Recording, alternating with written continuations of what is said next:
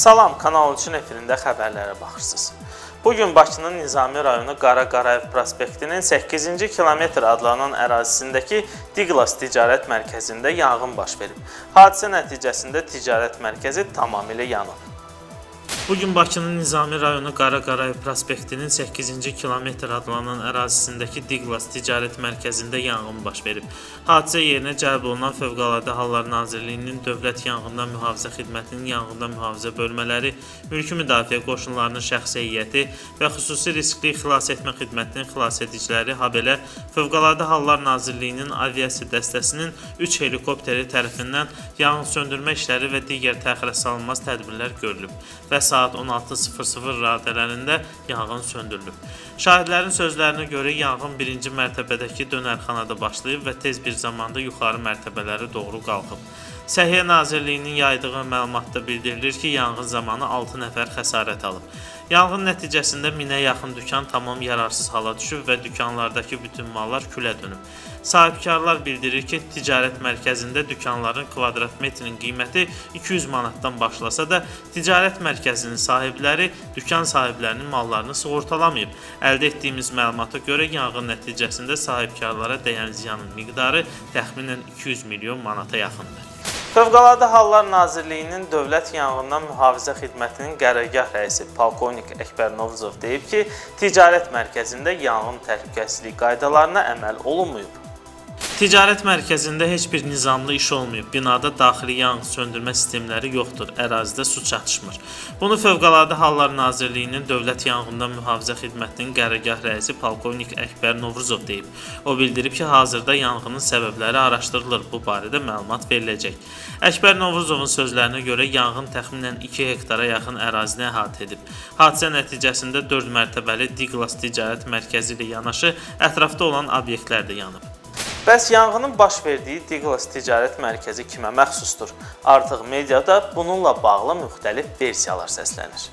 8-ci kilometr ərazisində xüsusi səliqə səhmanı ilə seçilən ticarət mərkəzlərindən biri də bu gün yanan Diglas idi. Diglas bir neçə dəfə yer pullarının 50% artması və digər qalmaqallarla gündəmə gəlsə də, ərazidə daha münasib və çeşidli qiymət təklif etməsi ilə tanınan ticarət mərkəzi kimi çoxlarının üz tutduğu yer idi. Maraqlıdır ki, bu vaxta qədər bu və ya digər məsələdə adı hallanan Diglasın sahibi barədə məlumat yayılmayıb. Yalnız bu gün müsavat.com Diglas ticarət mərkəzinin sabiq MTN rəhbəri Eldar Mahmudovun oğlu Anar Mahmudova məxsus olduğunu yazıb. Qeyd edilir ki, vaxtilə Diglasın qonşuluğunda yerləşən 8-ci kilometr bazarı kimi tanınan məkanı Eldar Mahmudov ələ keçirmişdi. Bununla bağlı bazarın sahibi olmuş sahibkar Salman Qürbətoğlu Səfərov əmlakının əlindən necə qəsb edilməsi haqqında ətraflı danışmışdı. Akif Çovdarov və başqaları da bu haqqda məhkəmədə geniş ifadə vermişdilər. Xatırladaq ki, Diglas adı ilə Vergilər Nazirliyində iki qurum, Diglas Quant və Diglas 2 MMC-ləri mövcuddur. Hər iki MMC-nin qeydiyyat ünvanı eynidir və hüquqi şəxsdir.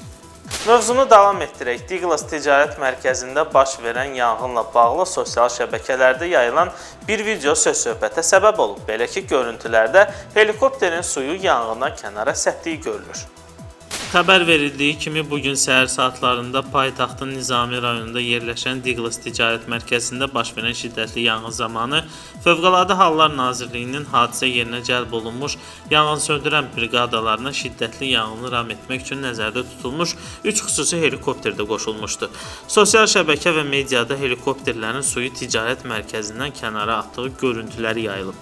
Video görüntülərdə aydın şəkildə görünür ki, helikopter öz çəninə götürdüyü suyu yanğın episentrindən çox-çox aralı tüstü çıxmayan yerə boşaldır.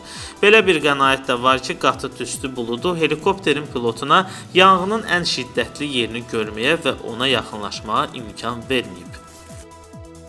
Keçək digər xəbərlərə. Milli Dövlətçilik Partiyasının sədri Nemət Pənahlı Azərbaycan Xalq Hərəkatından uzaqlaşdırılıb. Buna səbəb kimi Nemət Pənahlının qeyri-səmimi davranışları göstərilir.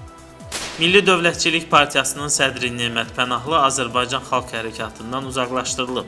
Bu haqda Azərbaycan Xalq Hərəkatındakı mənbədə məlumat daxil olub. Mənbənin dediyinə görə Nemət Pənahlının təşkilatdan uzaqlaşdırılmasına onun qeyri-səmimi davranışları səbəb olub.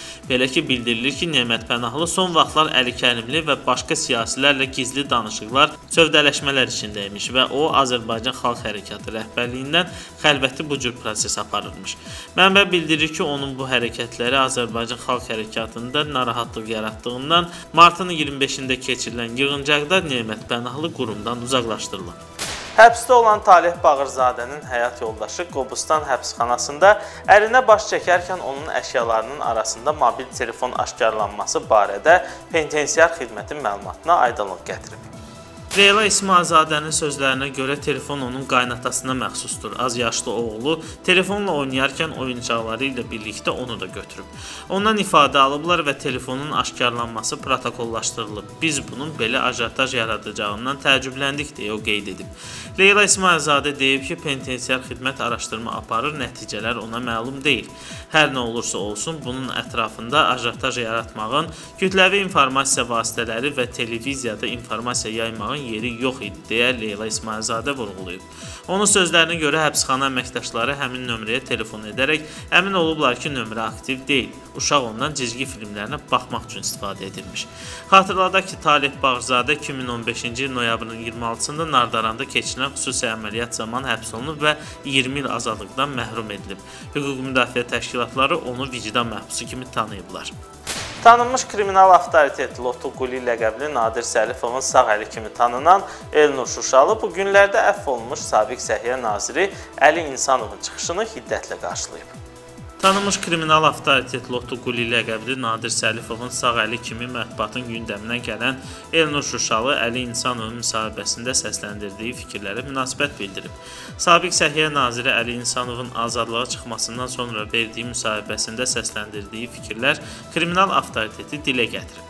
Sabiq nazirin müsahibəsində qeyd etdiyi, mən həbsdə nə ailə üzvlərimlə, nə də nəvələrimlə görüşməmişəm.